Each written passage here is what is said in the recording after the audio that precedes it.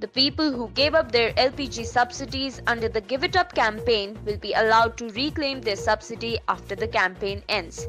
The government will soon look at various options after the campaign ends.